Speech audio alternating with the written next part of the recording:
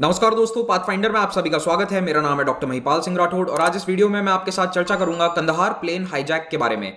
1999 में भारतीय एयरलाइंस के एक हवाई जहाज़ को हाईजैक करके कंदहार, जो अफ़गानिस्तान में स्थित है, वहाँ ले जाया गया था। और आज इस घटना के बारे में मैं आपके साथ चर्चा क्यों कर रहा हूँ? क्योंकि अफ़गानिस्तान में अब फिर से 20 साल बाद तालिबान का कंट्रोल है और जो परिस्थितियाँ 1990s में थी, कुछ हद तक वही वापस लौट आई हैं।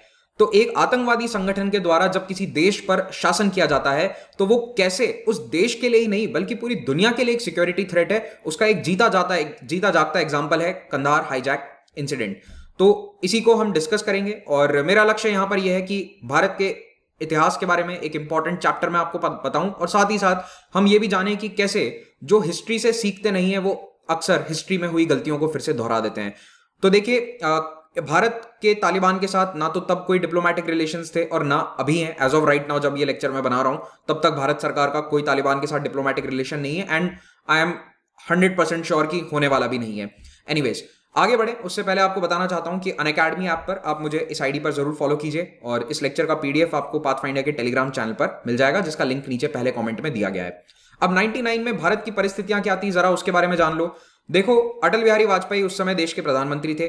98 में उनकी सरकार बनी थी, लेकिन 13 महीने बाद वो सरकार गिर गई थी। और 99 में सितंबर, अक्टूबर के महीने में ही चुनाव हुए थे। यानी कि जब ये प्लेन हाईजैक किया गया था दिसंबर 1999 में, उस समय अटल बिहारी वाजपेयी जी की जो सरकार है, वो केवल दो महीने, ढाई महीने पुरानी थी। So it was not a very stable government जो बहुत लंबे समय से चल रही है। हाँ उनके पास मेजोरिटी थी। NDA was the ruling majority government लेकिन बीजेपी, जो कि मेन कोएलिशन पार्टनर है, उसके पास एब्सोल्यूट मेजोरिटी नहीं थी, जैसा कि इस समय 2014 और 2019 के इलेक्शंस में देखा गया है। तो अटल बिहारी वाजपेयी एक कोएलिशन गवर्नमेंट चला रहे थे, देश के प्रधानमंत्री थे। एक और बात याद रखिएगा कि उसी साल गर्मियों में कारगिल युद्ध लड़ा गया था। जुलाई 1999 में युद्ध समाप्त होता है, पाकिस्तान उस युद्ध में हार गया था और पूरे नब्बे के दशक में कारगिल में नॉट कारगिल, कश्मीर में इंसर्जेंसी चल रही थी। तो कश्मीर की इंसर्जेंसी को भी पाकिस्तान सपोर्ट कर रहा था और निन्यानवे में इस लड़ाई में भी पाकिस्तान हार गया था। तो अब आपको मैं बताता हूँ इस पूरे घटनाक्रम के बारे में। 24 दिसंबर 1999 को इंडियन एयरलाइंस की फ़्लाइट आईसी 814 काठमांडू से नेपाल की तरफ़ आ रही थी। रास्ते में पाँच आतंकवादी जो पैसेंजर के रूप में फ़्लाइट में बैठे थे, वो अपनी सीट से खड़े होते हैं, उनके हाथों में चाकू था और किसी तरह से उन्होंने चाकू को स्मगल कर लिया था अंदर फ़्लाइट में। वो जाकर पायलट को धमकाते हैं और बोलते हैं कि तुम फ़्लाइट को दिल्ली में लैंड नहीं करोगे, इसको वेस्ट की तरफ़ लेकर चलो, यानी कि पश्चिम, पाकिस्तान, अफ़गानिस्तान की तरफ़। ये नहीं बताया कि कहाँ पर लेके जाएँगे, लेकिन इस तरह से प्लेन हाईजैक होता है। तो ये हाईजैकिंग का जो पूरा घटनाक्रम है, लगभग सात दिन तक चला था, कई जगह इस प्लेन को लैंड कराया गया। फाइनली ये हॉस्टेज क्राइसिस 31 दिसंबर को, यानी कि 1999 के आखिरी दिन मिलेनियम के आखिरी दिन, खत्म होता है। इस हवाई जहाज़ में कुल 180 से भी ज़्यादा यात्री और क्रू मेंबर्स थे, जिनमें से बाद में पाँच तो आतंकवादी ही निकले। तो ये हवाई जहाज़ जब टेक ऑफ़ करता है काठमांडू से तो इसका फ्यूल उतना ही था उसमें जितना न्यू दिल्ली के लिए सफिशियंट होता है। तो ये कोई बहुत लंबी यात्रा नहीं है, अगर आप मैप पर देखोगे मतलब फ्लाइट्स के अनुसार ये कोई बहुत लंबा डिस्टेंस नहीं है। तो इसमें इतना ही फ्यूल था, थोड़ा सा एक्स्ट्रा फ्यूल रखते थे तो ये मैक्सिमम पाकिस्तान तक कहीं पहुँच जाता। जब ये बात पायलट ने हाईजैकर्स को बताई कि देखिए फ्यूल ज़्यादा नहीं है, हम बहुत ज़्यादा वेस्ट की तरफ़ नहीं जा सकते तो हाईजैकर्स ने कहा कि एक काम करो, लाहौर में लैंड करवाओ इसे। तो ये हवाई जहाज़ लाहौर के ऊपर पहुँच जाता है, लेकिन लाहौर के एयर ट्रैफ़िक कंट्रोल ने प्लेन को लैंड करने की परमिशन नहीं दी। इन्होंने मना कर दिया कि यहाँ पर प्लेन लैंड नहीं होगा और क्योंकि फ्यूल खत्म होने वाला था तो इसको तुरंत घुमाया गया अमृतसर की तरफ़। अब अगर आप मैप में देखोगे तो लाहौर और अमृतसर ज़्यादा दूर नहीं है बॉर्डर से बिल्कुल कुछ ही दूरी पर स्थित हैं ये दोनों बड़े शहर। तो लाहौर में परमिशन नहीं मिली तो प्लेन को वापस अमृतसर की तरफ़ लाया गया। नियरेस्ट एयरपोर्ट यही था और यहाँ पर लैंड करवाया गया। अब इस बीच भारत सरकार का क्या रिस्पॉन्स रहा, उसका घटनाक्रम जरा देख लो। हालाँकि ये इतना टाइम वाइज इंपॉर्टेंट नहीं है आपके लिए, लेकिन बस एक रिस्पॉन्स के बारे में मैं आपको समझाना चाह रहा हूँ। बाद में जब ये डिटेल्स बाहर आई थी तो भारत सरकार के डिलेड रिस्पॉन्स की बहुत आलोचना हुई थी। चार बज के चालीस मिनट पर इस आईसी एट वन फोर के पायलट ने भारतीय एयर ट्रैफ़िक कंट्रोलर्स को ये जानकारी दे दी थी कि प्लेन हाईजैक हो चुका है। लेकिन शाम की छह बजे तक एटीसी की तरफ़ से पायलट को कोई स्पष्ट निर्देश नहीं दिया गया कि तुम्हें क्या करना है, क्या नहीं करना है हायर अथॉरिटीज का क्या कहना है, इसके बारे में कुछ भी जानकारी नहीं थी। साढ़े छह बजे के आसपास जब ये प्लेन लाहौर में लैंड करने की कोशिश करता है, उस समय भारतीय दूतावास की तरफ़ से पाकिस्तान सरकार को रिक्वेस्ट करी गई कि प्लीज़ प्लेन को लैंड करने दो, नहीं तो इसका फ्यूल खत्म हो जाएगा और ये क्रैश कर सकता है। लेकिन पाकिस्तान सरकार ने इसे मना कर दिया, क्योंकि पाकिस्तान को लगा था कि फिर दुनिया भर में यही मतलब पाकिस्तान की बेजती हो जाएगी कि हवाई जहाज़ हमने ही हाईजैक करवाया, देखो हाईजैकर्स इसको यहाँ लाहौर लेकर आ गए। तो ये पाकिस्तान गवर्नमेंट की उस समय सोच थी। 644 के आसपास ये अमृतसर की तरफ़ वापस आ गया हवाई जहाज़ और इसे अमृतसर में लैंड करवाया जाता है। जैसे ही लैंड होता है हाईजैकर्स डिमांड करते हैं कि तुरंत इसमें फ्यूल भरा जाए और हमें उड़ान भरने दिया जाए। अब हाईजैकर्स जो है, उनको पता था कि भारत सरकार यहाँ से हमें इतनी आसानी से उड़ने नहीं देगी वापस। टेक ऑफ़ नहीं करने देगी। तो इसलिए उन्होंने धमकी देनी शुरू कर दी कि पैसेंजर्स को एक एक करके हम मारना शुरू कर देंगे। इनफैक्ट चार पाँच पैसेंजर्स को उन्होंने बिल्कुल खिड़की के पास लाकर और एकदम नाइफ पॉइंट पे रखा भी था कि अगर रिफ्यूलिंग में डिले होता है तो हम एक एक करके पैसेंजर्स को मारना शुरू कर देंगे। अब भारतीय अथॉरिटीज के सामने बहुत ही मुश्किल रास्ते थे। पहला कि कमांडोज को या फिर स्पेशल फोर्सेस को भेजकर यहाँ पर आतंकवादियों को मार गिराया जाए, लेकिन उसके अंदर ये पूरा खतरा बना हुआ था कि सिविलियंस की जान जा सकती है, क्योंकि ऑफकोर्स आतंकवादी उन यात्रियों को शील्ड के रूप में इस्तेमाल करते, उनको आगे कर देते तो पैसेंजर्स की जान जाना यहाँ पर ऑलमोस्ट तय था। दूसरा ऑप्शन ये था कि प्लेन में फ्यूल भर दो और जैसा आतंकवादी कह रहे हैं वैसा करो, लेकिन अगर ये कर देंगे तो प्लेन भारतीय सीमाओं के बाहर जाएगा और 99 परसेंट उस वक्त यही चांसेस लग रहे थे कि इसको ये पाकिस्तान में कहीं ले जाकर लैंड करवा देंगे और भारत के हाथ से सारा पावर चला जाएगा, जिससे वो कुछ भी नेगोशिएशन कर सकें। अब प्लेन अमृतसर में था और इसे हाईजैक हुए हुए लगभग दो घंटे हो चुके थे, लेकिन अभी तक भारत सरकार की तरफ़ से कोई कॉन्क्रीट एक्शन नहीं लिया गया।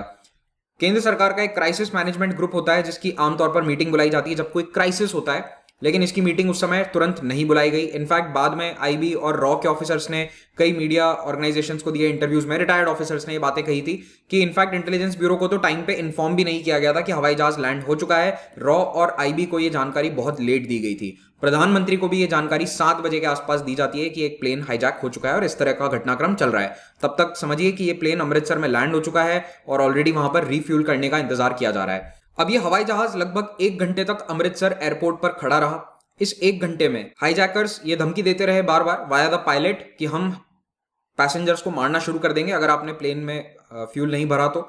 लेकिन जो लोकल अथॉरिटीज हैं एयरपोर्ट अथॉरिटी पंजाब पुलिस, वो रिफ्यूल नहीं करना चाह रहे थे क्योंकि दिल्ली से उनको ये आदेश मिल, दिया गया था कि रिफ्यूलिंग मत करो, जितना हो सकता है प्लेन को डिले किया जाए।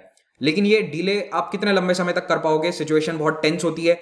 फाइनली दिल्ली से ऑर्डर आता है कि रिफ्यूल कर दो, लेकिन इस रिफ्यूलिंग के दौरान पंजाब पुलिस के जो कमांडोज हैं, उनको रिफ्यूल करने वाले टैंकर के साथ भेजा जाएगा। ये प्लेन के हवाई जहाज़ के जो टायर्स हैं, उनको पूरी तरह से डिफ्रेट कर देंगे, उनकी हवा निकाल देंगे, और उसके बाद ये कमांडो शायद प्लेन के अंदर जाते। इस प्रकार का कुछ प्लान था। लेकिन हुआ ये कि एक ट्रक जो रनवे को ब्लॉक करने के लिए भेजा जा रहा था, एक टैंकर को रनवे पर खड़ा करना था ताकि प्लेन टेक ऑफ़ ना कर सके। वो ट्रक काफ़ी तेज़ी से चल रहा था, उसे आदेश दिया गया कि तुम धीरे चलाओ और ड्राइवर ने एकदम से ब्रेक लगा दिए इससे आतंकवादी सस्पिशियस हो गए और उन्होंने पायलट को आदेश दिया कि तुम टेक ऑफ़ करो। तो हवाई जहाज़ में फ्यूल अब बिल्कुल ही कम है और फिर भी ये प्लेन टेक ऑफ़ कर जाता है 7:50 पीएम पर। तो ये एक घंटे का घटनाक्रम था।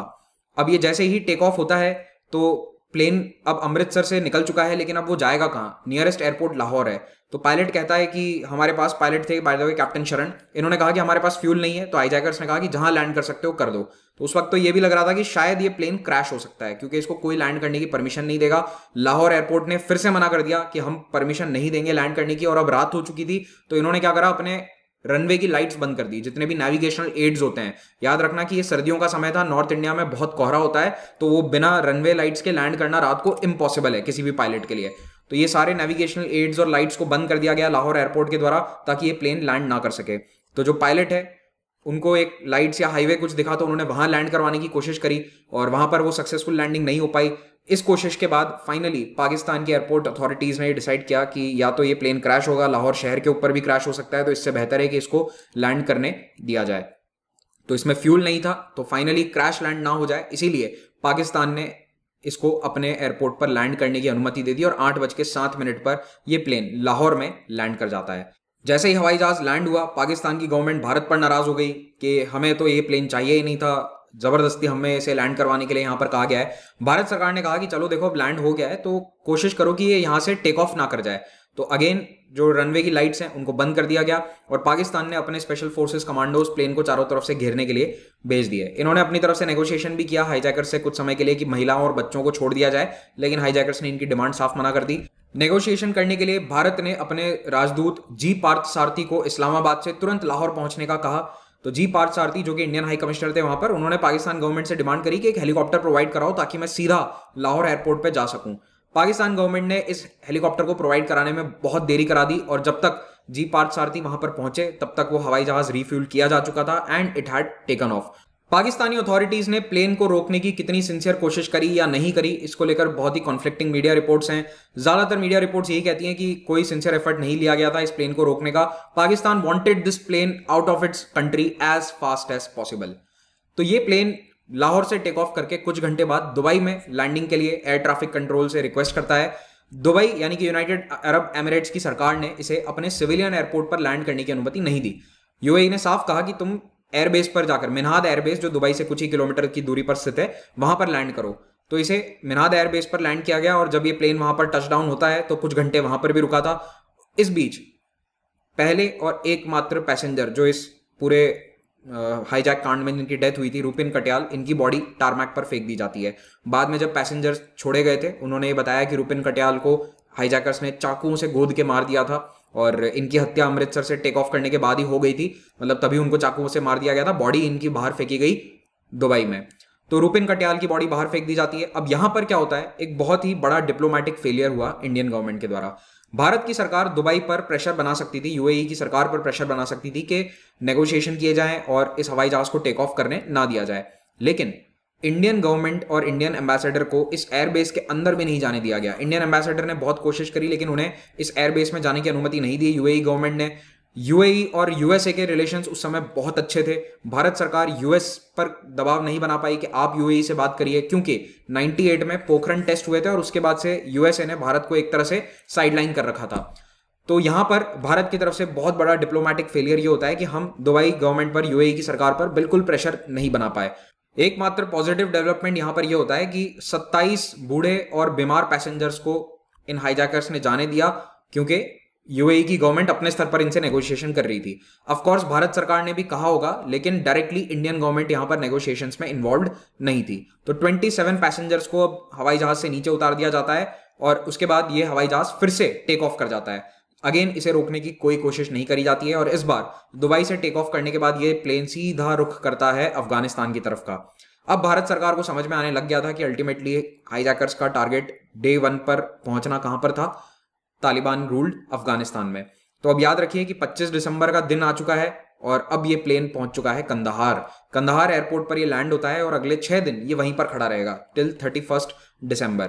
तो देखिए, कंदहार में लैंड करते ही तालिबान अथॉरिटीज जो हैं उन्होंने भारत सरकार को ये कहा कि हम मीडिएट करेंगे, जो भी नेगोशिएशन करना है, इनसे बातचीत करनी है हाईजैकर से वी विल डू इट याद रखिए कि भारत और तालिबान सरकार के बीच में उस समय कोई डिप्लोमेटिक रिलेशंस नहीं थे और भारत तालिबान को रिकग्नाइज भी नहीं करता था। तो भारत के लिए बहुत मुश्किल भरा समय था ये। जिस सरकार को आपने मानने से मना कर दिया, तीन साल से आपने जिससे ना कभी बात करी है, ना आप उनको असली सरकार मानते हो।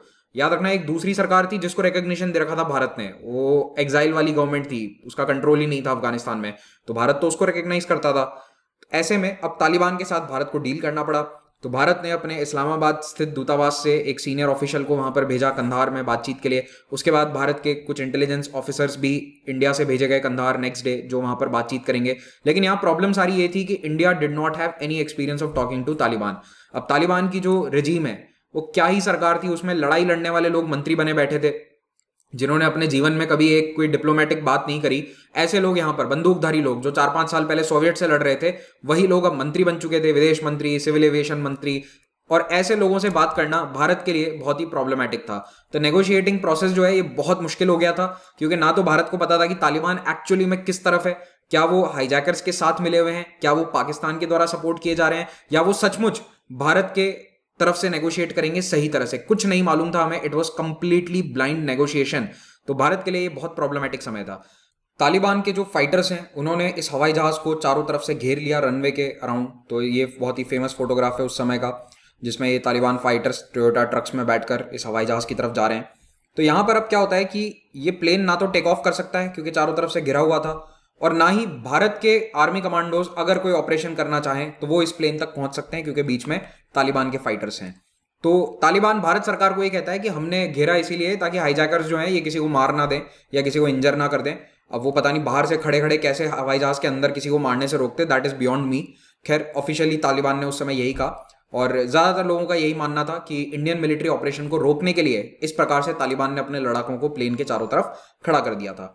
अब भारत सरकार का प्लान यहाँ पर क्या था कि हॉस्टेजेस के लिए कैसे भी करके नेगोशिएट करो, क्योंकि मासूम जिंदगियाँ नहीं जानी चाहिए और कैसे भी हो, ये हाईजैकर्स जो हैं, इन्हें भागने का रास्ता नहीं मिलना चाहिए। अब ये प्लेन लैंड हो चुका है तो हॉस्टेजेस को छुड़वा दें, जैसे भी हो, जो भी इनकी डिमांड्स हैं, उनको पूरी कर दिया जाए और ये हॉस्टेजेस को फिर छुड़वाकर हाईजैकर्स को अरेस्ट करें या फिर उनको मार गिराएँ। इस तरह का भारत का प्लान बन रहा था, लेकिन सबसे बड़ी प्रॉब्लम एक तो ये आ गए तालिबान के फाइटर्स बीच में और दूसरा कि नेगोशिएशन के बीच में तालिबान भी इन्वॉल्व था। अब 25 और 26 दिसंबर को भारत सरकार अंदरूनी तौर पर यह डिस्कशंस कर रही है कि इन आतंकवादियों से कैसे बातचीत करी जाए और इन्हें चाहिए क्या? इन्होंने एकदम शुरुआत में अपनी मांगे बताई नहीं थी तो हमें नहीं पता था कि ये क्या करना चाहते हैं। Would it be a flying suicide mission जैसे कि 9/11 में आपने देखा कि प्लेन हाईजैक करके उसको बिल्डिंग्स में क्रैश करवा दिया। क्या उस तरह का कुछ करना चाहते थे क्या ये प्लेन को बॉम्ब ब्लास्ट से उड़ाना चाहते थे? सिर्फ़ मासूम जिंदगियों को खत्म करना चाहते थे? या फिर सारे हॉस्टेजेस को एक एक करके मारते और दुनिया को ये दिखाते कि भारत सरकार कुछ नहीं कर सकी। इस तरह के उनके टारगेट्स भी हो सकते थे। इट कुड बी एनीथिंग तो पहले दो दिन तक तो यही डिस्कशन चला कि इनसे क्या बातचीत करें, नहीं करें, किस तरह से करें। और इस समय में पैसेंजर्स की हालत काफ़ी ख़राब हो गई। आप याद रखना कि ये फ़्लाइट सिर्फ़ दो घंटे की फ़्लाइट थी तो इसमें खाना पीना भी उतना ही था टॉयलेट्स में पानी भी उतना ही था everything at stop working Kandahar में, जहाँ पर ये प्लेन हाईवे रनवे पर खड़ा था, वहाँ पर टेम्परेचर माइनस थर्टी पहुँच जाता है। दिसंबर का महीना है, कंधार में सर्दियाँ minus thirty minus twenty five degree के टेम्परेचर की रात होती है वहाँ पर। तो ऐसे में प्लेन को कंटिन्यूसली चालू रखा जा रहा था, वरना उसका हीटिंग सिस्टम काम करना बंद कर देगा। तो वो एयर कंडीशनिंग का जो सिस्टम है, वो चालू रखने के लिए प्लेन चालू रखना होता है, उसे बार बार रिफ्यूल करना पड़ता है। तो पैसेंजर्स की हालत बहुत खराब हो चुकी थी। ना तो उनके पास खाने को कुछ प्रॉपर खान मील्स थे, ना ही उनके पास पीने का ढंग का पानी था। Sanitation facilities had gone for a toss तो प्लेन में पैसेंजर्स की हालत काफ़ी खराब होना शुरू हो जाती है। इन परिस्थितियों में हाईजैकर्स ने भारत सरकार को अपनी शर्तें बताई। पहली शर्त, इन हाईजैकर्स के आतंकवादियों के, जो दूसरे भाई बंधु आतंकवादी थे, जो भारतीय जेलों में बंद थे, उनको रिहा किया जाए।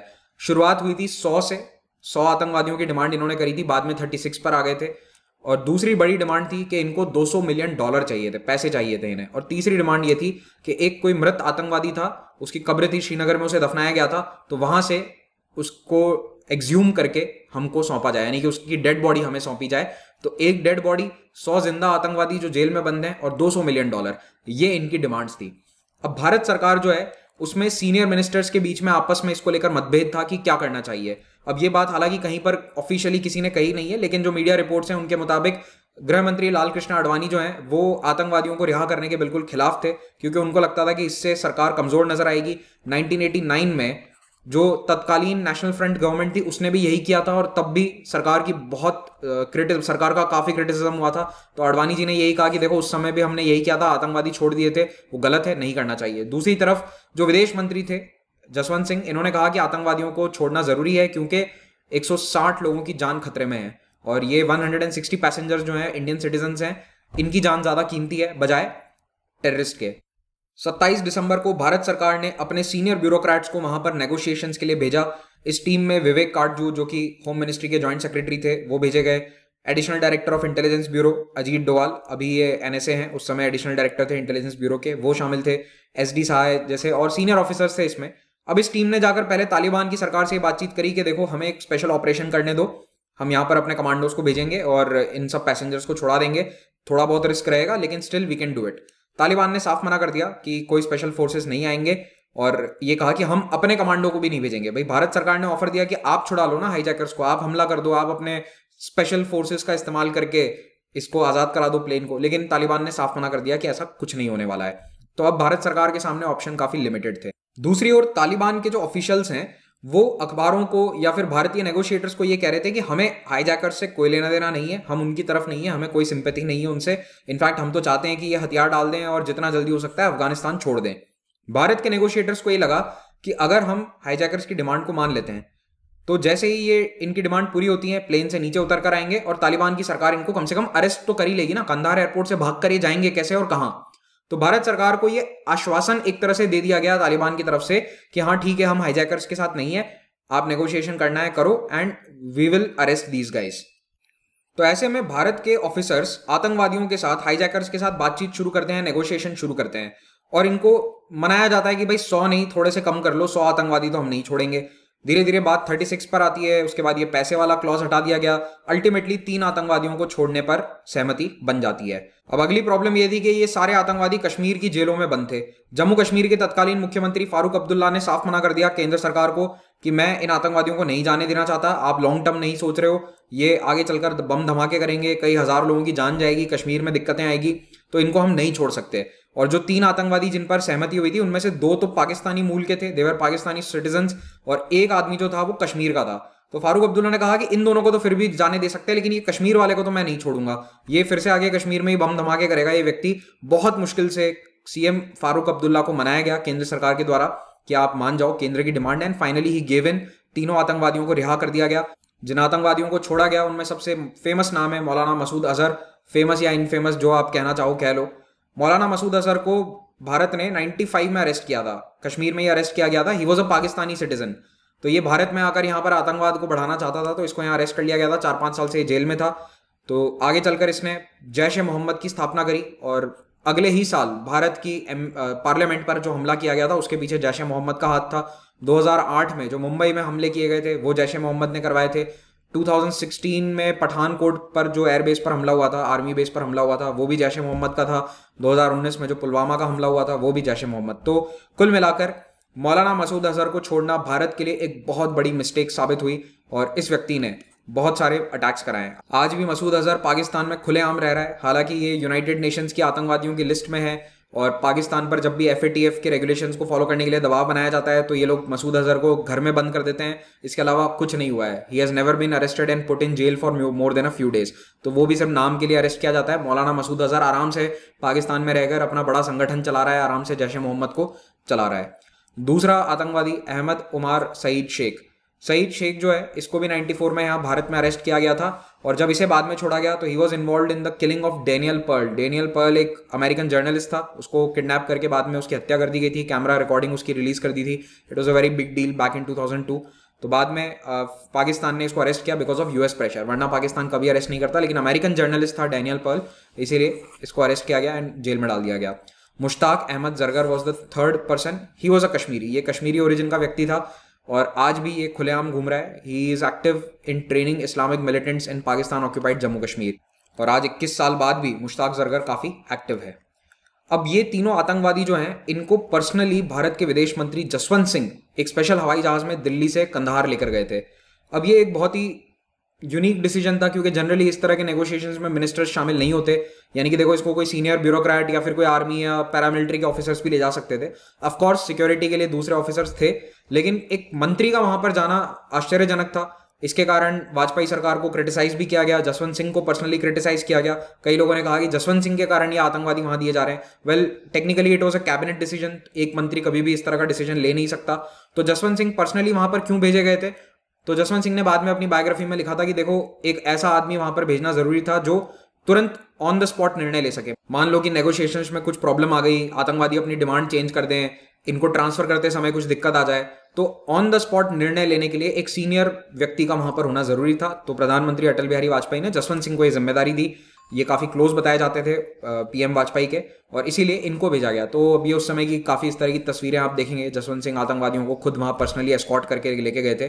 कई कॉन्स्पिरसी थियरिस्ट ये कहते हैं कि क्योंकि बहुत सारा पैसा इन्वॉल्व था, भारत सरकार ने पैसा दिया था इन आतंकवादियों को और उसे कभी कभी भी पब्लिकली एक्नॉलेज नहीं किया है तो इसीलिए मंत्री को भेजा गया था which I don't agree with personally क्योंकि ऐसा क्या है, पैसा दिया है तो मंत्री को भेजना कोई ज़रूरी नहीं होता है है ना? पैसा तो कोई भी दे सकता है इट्स जस्ट अ बैग उसी को तो देना होता है। जसवंत सिंह का प्लेन जब कंधार में लैंड होता है तो उसके बाद और कई ड्रामेटिक सीन्स होते हैं, जैसे कि इस प्लेन से आतंकवादियों को तो नीचे उतार दिया गया, लेकिन भारतीय ऑफिशियल्स को नीचे उतरने नहीं दिया जाता है, आधे घंटे तक। तो यहाँ पर अब थोड़े से सरप्राइजिंग और ड्रामेटिक ये जो घटनाक्रम होता है, तब भारत को समझ में आ जाता है स्पष्ट रूप से कि ये पूरा आईएसआई का किया कराया काम है। पाकिस्तान के हस्तक्षेप का सबसे बड़ा सबूत यह था कि मसूद अजहर और सईद शेख के घर वालों को पाकिस्तान से कंधार लाया गया था उनको आइडेंटिफाई करने के लिए कि कहीं भारत सरकार किसी और को ना थमा दे, आतंकवादी कहकर कि ये मसूद अजहर है और किसी और को वहाँ पे हमें ना दे दिया जाए तो उनके घर वालों को वहाँ लाया गया था शिनाख्त करने के लिए कि हाँ ये मसूद अजहर ही तो है ना, क्योंकि पाँच छह साल हो गए थे जेल में रहते हुए। तो ये पूरी शिनाख्त होती है, उसके बाद भारतीय ऑफिसर्स को नीचे उतरने दिया जाता है और ये जो सारे टेररिस्ट हैं, इनको फ्रीली बाहर निकलने दिया गया। तालिबान ने इनको अरेस्ट नहीं किया।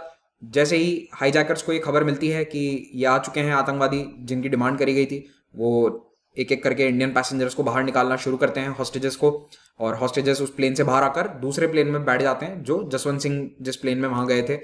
यात्रियों के प्लेन से बाहर निकलने के बाद जब हाईजैकर्स बाहर आते हैं तो भारत सरकार को अब यहाँ पर यह उम्मीद थी कि इन्हें तालिबान अरेस्ट कर लेगा। लेकिन तालिबान ने इनको एक गाड़ी मुहैया कराई और उस गाड़ी में बैठकर ये कंधार एयरपोर्ट से रवाना हो गए। तुरंत पाकिस्तान अफ़गानिस्तान के बॉर्डर की तरफ़ निकल जाते हैं टुवर्ड्स क्वेटा तो यहाँ कंधार से सीधा हाईवे जाता है, क्वेटा की तरफ़ स्पिन बोलदक बॉर्डर से होते हुए और चमन बॉर्डर क्रॉसिंग से होते हुए सीधा क्वेटा की तरफ़ चला जाता है।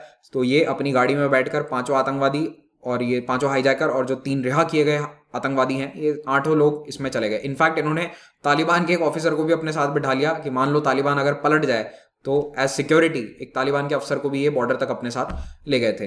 पाँचों आतंकवादी जो हैं, बाद में उनकी शिनाख्त करी गई तो पता चला पाँचों ही पाकिस्तान मूल के थे। इनमें से एक मसूद अजहर का भाई था, इब्राहिम अथार, और बाकी चारों जो है, ये भी पाकिस्तानी आतंकवादी ही थे। शाहिद अख्तर, सैयद सनी अहमद, काजी मिस्त्री जहूर, इब्राहिम और शकीर।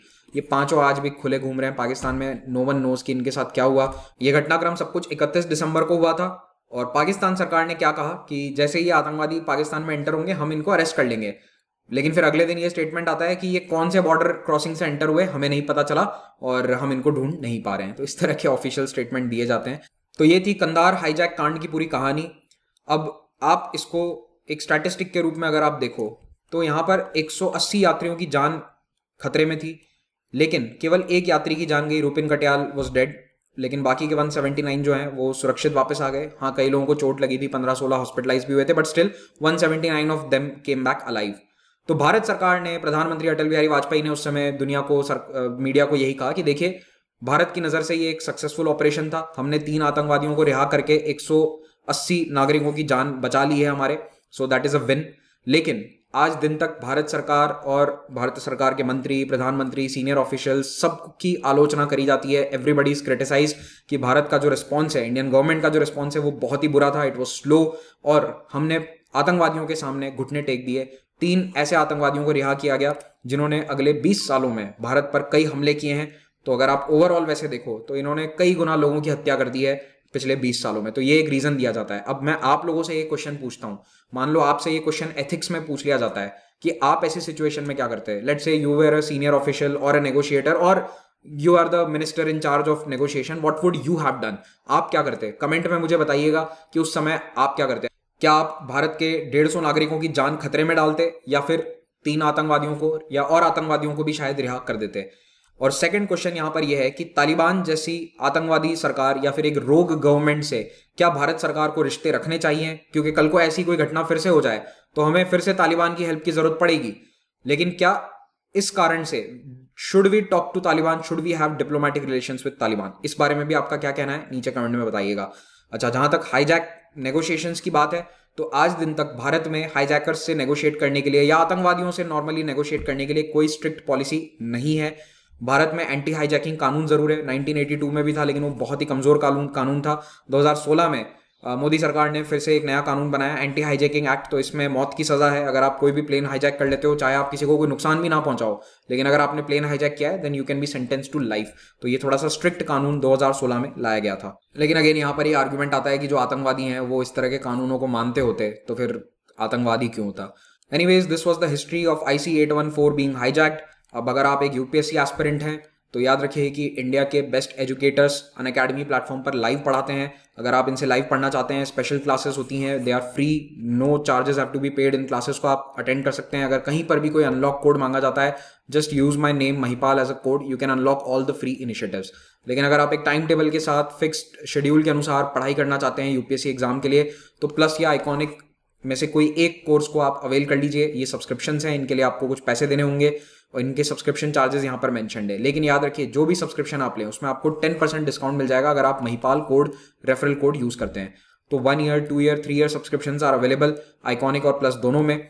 ऑप्शनल की तैयारी के लिए भी कोर्सेज अवेलेबल हैं, लेकिन अभी हमने एक special five in one offer चालू कर रखा है, जिसमें ऑप्शनल और जीएस का जो कंबाइंड कोर्स है वो आपको forty nine thousand six hundred eighty rupees में अवेलेबल होगा फॉर वन ईयर और इसमें ना केवल क्लासेस बल्कि आपको टेस्ट सीरीज़ भी मिल जाएँगी प्रिंटेड जीएस की किताबें भी मिल जाएँगी और ये प्राइस आपको तभी मिलेगा when you are using this referral code otherwise ये फिफ्टी फाइव थाउज़ेंड का होगा so don't forget to use that code अब यहाँ पर आपको दो महीने का एक नया सब्सक्रिप्शन प्लान भी देखने को मिलेगा तो जो प्रिलिम्स 2021 की तैयारी कर रहे हैं, उनके लिए हमने ये लॉन्च किया है। आप इस कोर्स को अवेल करके for thirty thirteen thousand five hundred rupees आप मेरे जो अपकमिंग प्लस कोर्सेज हैं या जो मेरा अभी ऑन गोइंग प्लस कोर्स है मिडिवल हिस्ट्री का, उसको भी ज्वाइन कर सकते हैं। So remember if you are preparing for twenty twenty one कोई सब्जेक्ट कमज़ोर रह गया है तो इस कोर्स को ज्वाइन कर लीजिए। हर वेडनेसडे को नए बैचेस बनते हैं तो जो बैचेस नए बनते हैं, आप उनको ज्वाइन करके अपनी तैयारी को स्टार्ट कर सकते हैं। तीन फ्री टेस्ट सीरीज़ है हमारी, और इन टेस्ट सीरीज़ में अच्छा स्कोर करोगे तो ही कॉम्बैट में बढ़िया रैंक आएगी कॉम्बैट में बढ़िया रैंक आएगी तो आप स्कॉलरशिप्स अवेल कर सकते हैं। फ्री ऑफ़ कॉस्ट आपको ये कोर्सेज अवेलेबल हो जाएँगे। रविवार को 11 बजे कॉम्बैट होता है। Unlock code would be this so enroll now for combat link is in the description and first comment thank you very much have a great day